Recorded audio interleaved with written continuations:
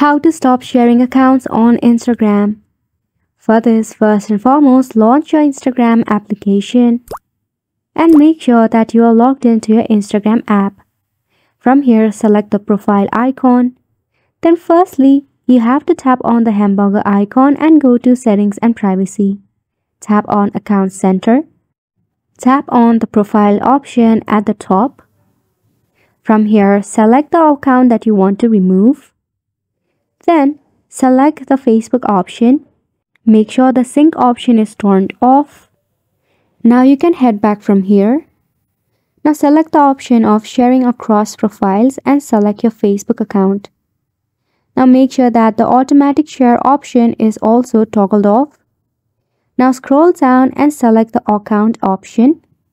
Tap on the remove bubble, then select remove account. From here tap on continue, then tap on yes. And simply like that, the sharing of the account has been stopped.